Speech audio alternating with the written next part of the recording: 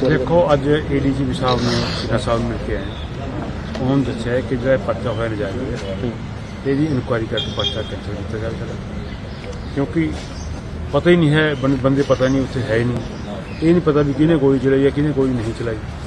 ਤੇ ਆਪਾਂ ਉਹੀ ਕਹੀ ਫਲਾਣੇ ਦੀ ਸਹਿਤ ਦੀ ਗੱਲ ਹੋ ਗਈ ਤੇ ਇਹ ਗੱਲ ਬਹੁਤ ਹੀ ਵਧੀਆ ਨਹੀਂ ਹੈ ਸਮਾਜ ਦੇ ਵਿੱਚ ਸੋਸਾਇਟੀ ਦੇ ਵਿੱਚ ਜਾਇਜ਼ ਗੱਲ ਹੋਣੀ ਚਾਹੀਦੀ ਹੈ ਤੇ ਉਹ ਰਿਕਵੈਸਟ ਕੀਤੀ ਹੈ ਔਰ ਉਹਨਾਂ ਨੇ ਵਿਸ਼ਵਾਸ ਦਿਵਾਇਆ ਕਿ ਮੈਂ ਇਹ ਪਰਚਾ ਦਾ ਕੈਂਸਲ